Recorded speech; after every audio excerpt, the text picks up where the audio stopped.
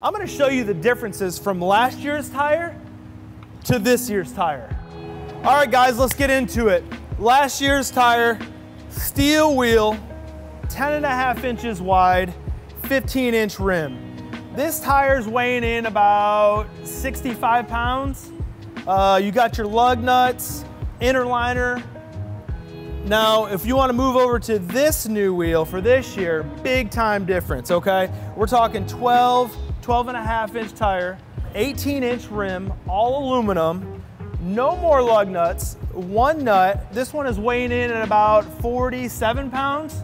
So for us, being lighter is obviously better.